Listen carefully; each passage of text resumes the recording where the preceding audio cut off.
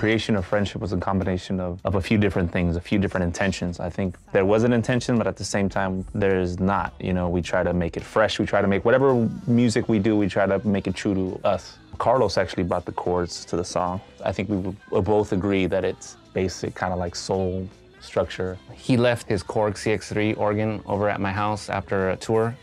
I had this this song idea and it just needed like a instrumental head. It needed like an intro. And so I started goofing around with the line. I showed it to Bardo and then he made it better. He made it stronger. You know, he added different notes and he made it more complete. From there, it was just bringing in the rhythm section to complete it, make it a fresh, you know, funky song. I wanted to keep it very simple. I'm kind of balancing quarter notes to straight beat into a little subdivision with the kick, which is doing a little bit the syncopation on the back, but it's supporting Eduardo's bass line. Leon Michaels produced the album. It was just it was really like a party. Everybody was having fun on the other side of the glass as well. We had the song pretty much arranged before we got to the studio, right? I think just the whistling got added. Definitely the vocals and the rhythm section really brought the song together. I wanted to write lyrics that people could identify with in that, that sense, you know, like that, that angst, you know.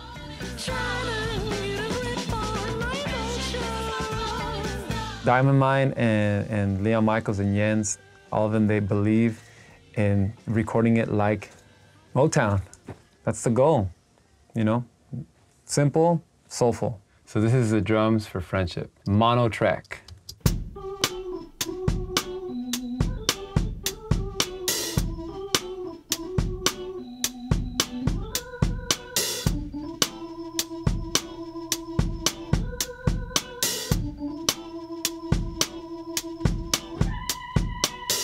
So that's two mics recording overhead and another one recording the kick, going mono into one track. Yeah, the AEA R84 on the overhead, really low, compressed, and then uh, an SM7 right like on the side of the kick.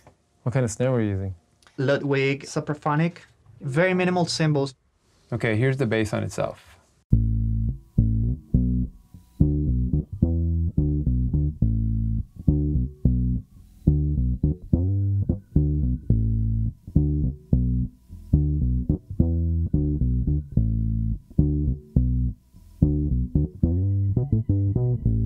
So I was playing an EB0 from 1968, a Gibson bass, through an Ampeg B15 flip top. It was just a vibe. It was all bottom end, and uh, I think it might have been going through some outboard gear, maybe some purple audio compressor or something basic, just something to, to compress it. And that was it. And it's not an easy bass to track because you don't always want that sound.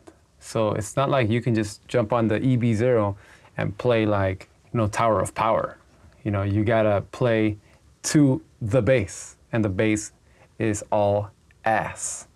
You know, so if you want that ass, you gotta tap into it. All right, here's the guitar by itself.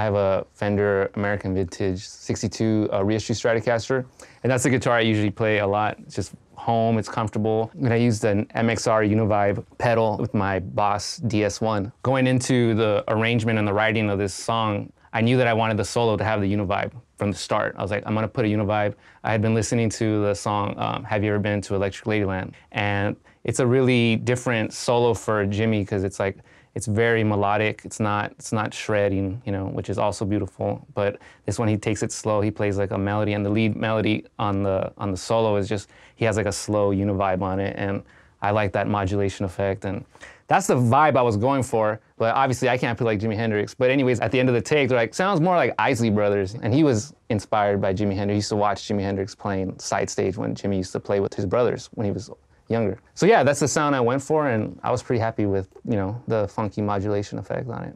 Boss DS1. It's yeah, it's modified by it's an analog man There we go. modified DS1, yeah. And that kind of gave me like a sound, kind of like if I was playing like distortion from like a Marshall amp. It gives that kind of sound, even though we were playing out of a like kind of more like a Fender kind of American sounding Ampeg amp. Can we play the, the solo with the band? I don't think Sure. we did that. Just And here's a solo with full band.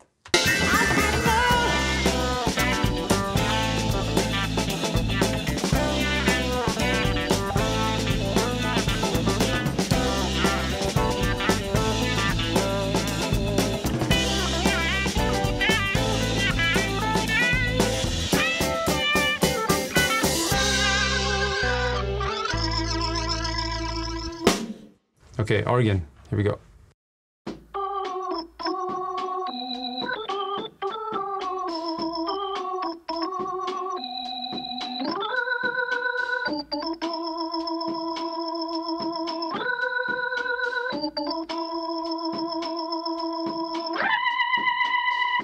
Yeah, I just played that on the B3, B3 organ. I don't have a B3, so it was more like I'm just gonna find the sound.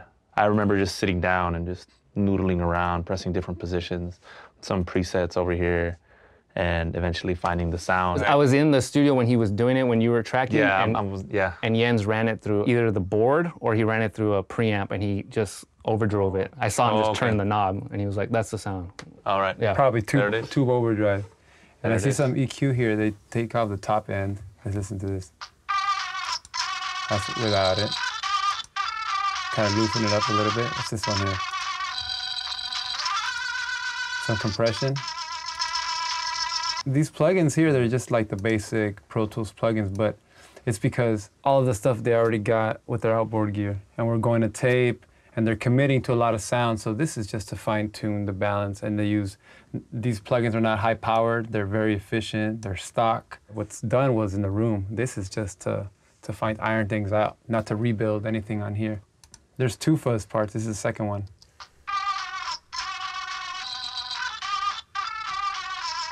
Sounds like the other one. Two together? So they ran it twice? It, it must be.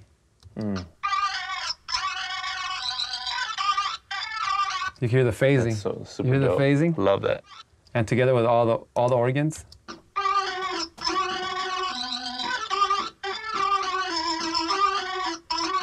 And with the bass and drums and guitar, I think we're full band now.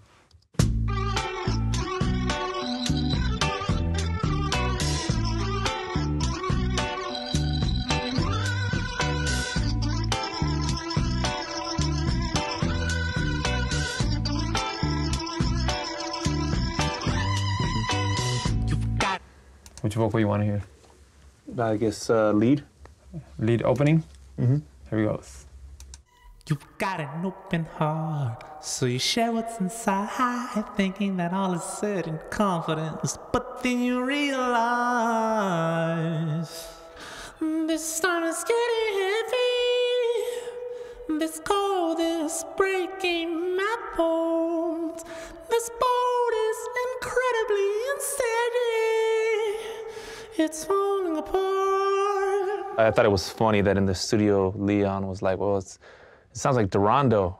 And, you know, it's like Darondo is just like this kind of obscure soul singer. So it was such a, like a, like a fist bump. It was pretty cool. What mic were you using?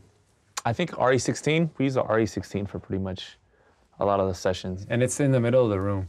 It's not even in a booth or anything. It's just open, you know, and allows him to just sing out freely and just capture the essence around the voice and that kind of thing. Yeah, what I thought was interesting was that he didn't he wasn't too picky with what they used for vocals. Like, you know, they had a little big arsenal of mics and it was just like, well, let's just use this simple old school mic. And uh, I dug that. What I also liked was like it's like, man, sing it however you want. Like if you want to pick the hold the mic, hold the mic. Like just just feel comfortable. So I appreciated that as well. No condensers were used in the making of this song, which is an interesting thing because you know you, study engineering and you need these many condensers and you need them in stereo pair and then dynamics for really loud things and and here we were using dynamics on everything. You know, they just capture a different sound. There's not a, a lot of bleed. Some are journalist mics from the 70s.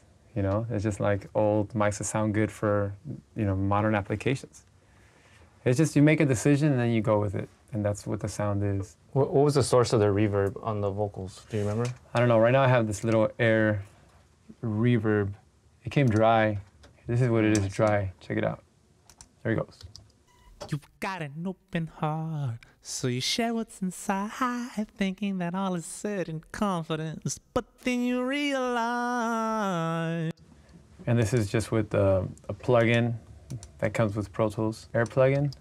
You've got an open heart, so you share what's inside, thinking that all is said in confidence, but then you realize. And that's what's on it, right? Yeah. That's it. Yeah, and here's with everything. You've got an open heart, so you share what's inside, thinking that all is said in confidence, but then you realize. It's a big difference without it. It, it like, this is without it. It's very, it's a lot more intimate.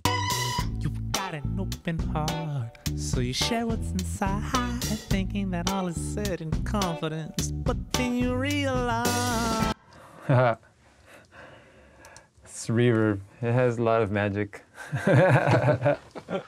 All right, what you want to listen to Uh, now? let's let's hear the Flor de Toloache backups. okay, this is the backup vocals. Also, I did the same thing for the spring there. This is with them dry. Friendship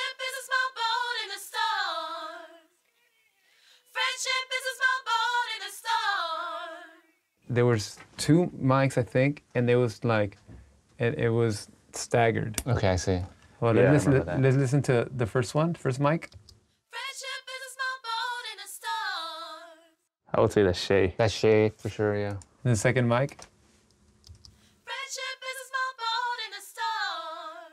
I think it's the same one. It's just uh, it's left and right, and here's the second one.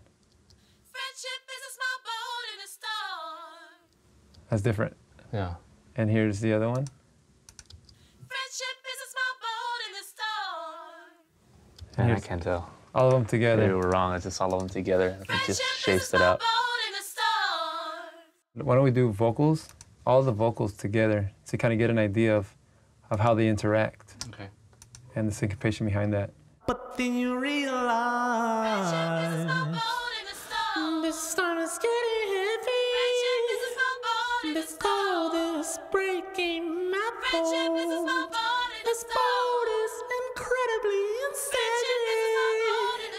It's falling apart. So Bardo's is real soft and it comes in and out, and then the back they're just like singing it loud. Yeah, I guess uh, from the, the top of, uh, I guess for the conception of the song, or when I was thinking of lyrics um, for the song, the idea was always to have like call and response as the main kind of choral arrangement for the song. So that was just always kind of like predetermined kind of idea for, for what, what we're hearing. And I did some EQing on this, as you can tell, Bardo's voice is obviously bigger than the three women singing in the back. Realize. boat in a storm. This And as you can tell from this EQ curve right here, he took off the whole bottom end, a little bit of the, the midsection around On my voice? 2K, no, on the backup vocals. Oh, okay. And then they, they increased a little bit on the top end. Ah, that's also, really you see cool. that curve. There was a vintage board that was left there. It's owned by Dan Auerbach from the Black Keys, and he's friends with all of Leon and um, the rest of the Menahan Street Band. They played with him in the Arcs. Everything was running through that thing, and you know that definitely gave it some of the, the warmth and sound before everything was put into Pro Tools. Let's hear some Or tape. Yep, and tape. All right, these are whistles.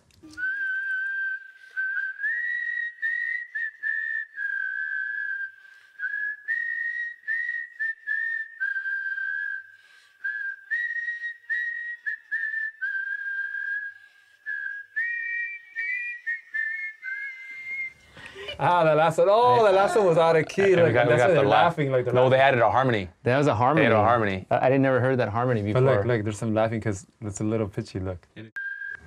And then uh, in context.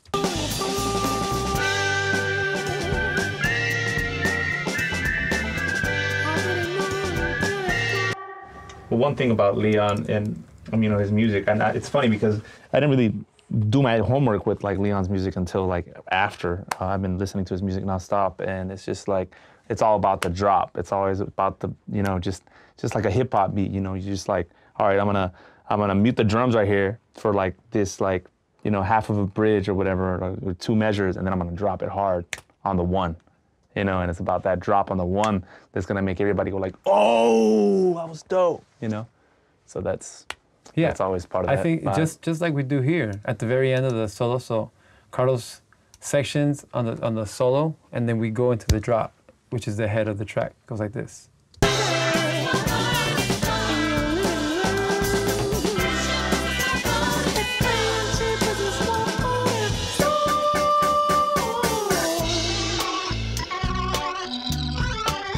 I know people feel that when we play it live. It's just the drop.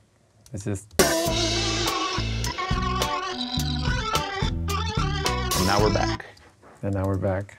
It's a you know obvious James Brown reference. Maybe not to everyone, but I guess a lot of musicians. The eh, eh, eh, on the five chord, taking you back into the the verse.